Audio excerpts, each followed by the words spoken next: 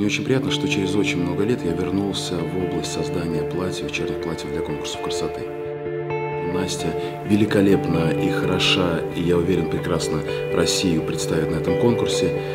Моя задача сделать не более, чем ее чуть-чуть идеальнее, чем э, другие конкурсантки.